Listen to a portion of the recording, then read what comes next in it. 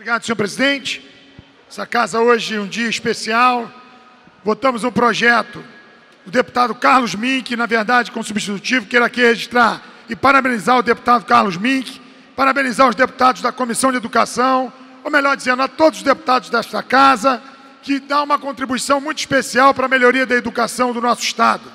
A gestão democrática, isso quer dizer a eleição para diretores de forma direta, preenche com certeza uma lacuna, porque já que estamos falando de democracia, eu tenho certeza que esse projeto de hoje vai é, de acordo com tudo que os alunos que estão no movimento ocupam as escolas, mas também todos os profissionais da educação. E aqui quero registrar que vários atores foram importantes, mas os protagonistas com certeza foram os profissionais de educação e os alunos. Então eu quero aqui registrar que é muito importante que a partir desse momento, todas as escolas do nosso estado tenham uma eleição democrática, claro, de forma muito especial, passando pelo crivo também, porque nem todo professor ou nem todo servidor pode ser um bom gestor. Então vai passar pelo crivo também da sua excelência, da preparação, aonde a secretaria, não de forma excludente, vai pedir que esse profissional apresente, um professor que apresente um plano é, de educação, um plano de ação, para que seja avaliado, mas não de forma exclusiva, que possa ser avaliado pelos eleitores, mas também após a eleição, que aí sim a Secretaria de Educação do Estado fará um curso para capacitar esse escolhido de forma democrática. Então, deputado Julianelli, membro da Comissão de Educação, parabéns a Vossa Excelência, parabéns ao deputado Conte Bittencourt, quer dizer, a todos que compõem uma comissão muito importante desta casa, que é a Comissão, comissão de Educação, mas essa vitória é uma vitória de todos, principalmente da educação do nosso Estado. Espero imensamente que a SEDUC, a Secretaria Estadual de Educação, possa entender. Já foi um momento onde ela era reticente, o deputado é, autor do projeto original, o deputado Carlos Mink, fala que é uma luta de mais de uma década. Então é importante registrar essa vitória. Esta casa cumpre o seu papel e nós aqui vamos agora fiscalizar todas essas ações, porque, conforme dito também, leis maravilhosas nós temos, precisamos que elas realmente possam valer. E aí a, a nossa intenção que a comissão do Cumpra-se possa estar permanentemente atuando nessa questão, porque assim poderemos colher o mais rápido possível bons resultados.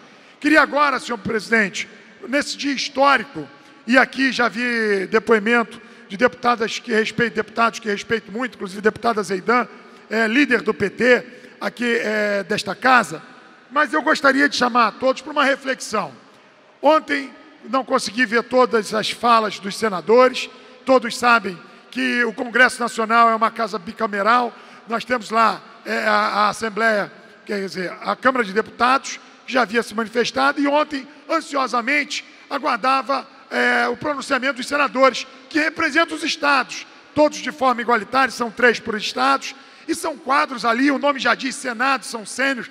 Nosso brilhante deputado Eleomar Coelho seria um grande senador se quisesse, tem competência para isso, tem vivência política, tem história política, tem capacidade para representar o nosso Estado.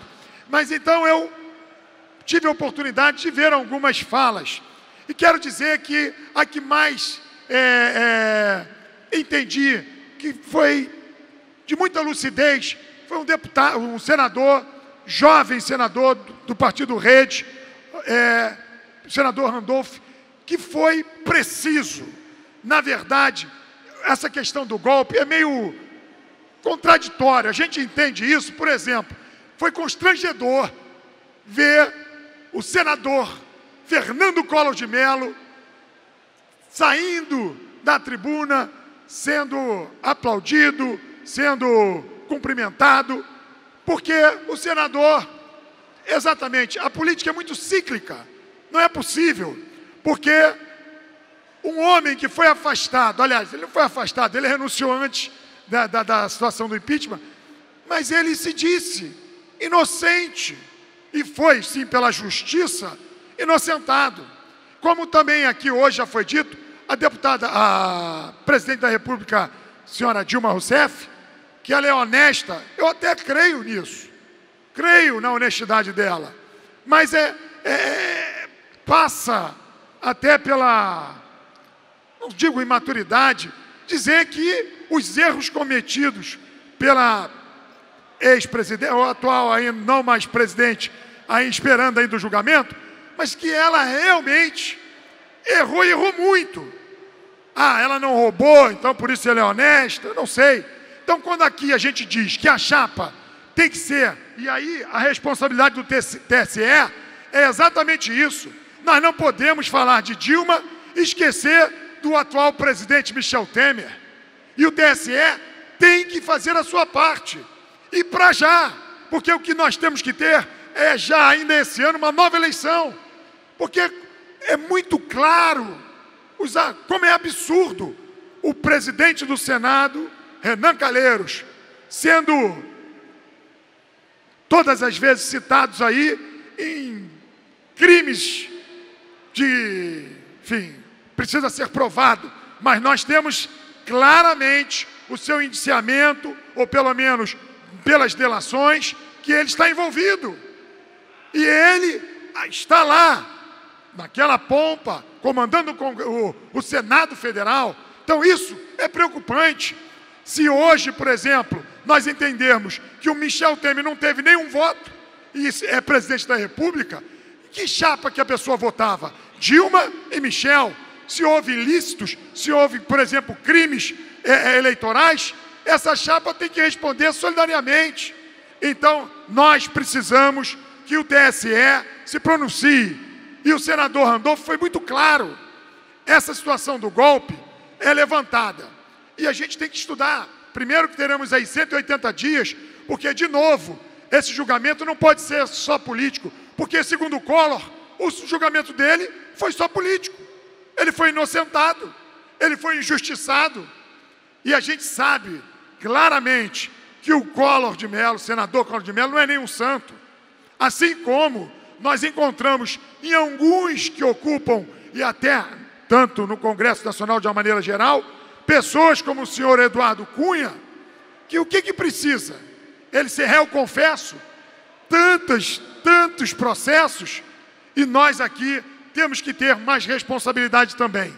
Por exemplo, o PT, e aqui a gente pode falar de forma muito clara, eu não era é, ainda político, fazia política, mas não tinha ainda mandato. O PT, quando ocupava as portas das fábricas, tinha um discurso maravilhoso.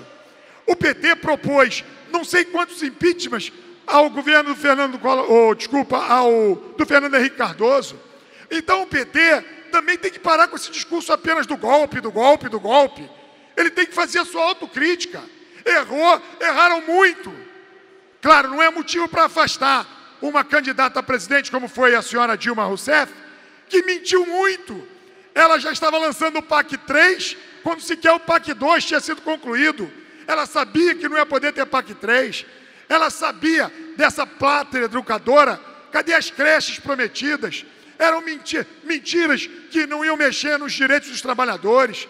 Claro que nós temos que reconhecer avanços também no governo do PT, mas nós não podemos aqui ficar dizendo que, olha, é um golpe, é, foi apenas um golpe, é só um julgamento político. Aqueles quadros que lá estão, é, enfim, nós sabemos da relação da política nesse sentido. Mas hoje o TSE, se fizer o seu papel, aí sim, o senhor Michel Temer, que hoje presidente da República, sendo indiciado, sendo citado, indiciado não, sendo citado em escândalos. Então essas foram as minhas colocações. Então vamos viver, já termino, senhor presidente, dias ainda de muita confusão, de gente do PT, por exemplo, jogando a população. Isso quem perde é o nosso Estado, quem perde é o nosso país, quem perde é a política, é a credibilidade dos políticos. É difícil, deputados, a gente querer explicar aos nossos filhos, pai, mas espera aí, como é que agora é, é o Michel Temer, presidente da República, mas ele não era da chapa da Dilma? Não tem indícios de crimes eleitorais? Como é que a gente explica isso? Então, quero dizer que ainda não está resolvida a situação. Nós temos problemas sérios. Por exemplo, nesse ministério que aí está, tem um que foi governador desse estado senhor Moreira Franco, que é responsável pelo retrocesso da educação do nosso Estado. Quando ele, governador, assumindo após Brizola, acabou com o projeto de educação integral. Hoje ele é ministro. Então, a política é cíclica, mas nós temos que ter mais do que isso. Nós temos que ter responsabilidade, porque se não tivermos responsabilidade, vai ser difícil olhar o eleitor de frente e querer explicar. Eu desejo imensamente que o TSE se pronuncie, porque o que nós temos que defender é uma eleição agora sim, sem tantos escândalos e legítima. Por isso que eu quero aqui aplaudir o senador é, Randolfo do, da, do, Rede, do Rede Sustentabilidade, que foi brilhante em suas colocações no dia de ontem. Obrigado.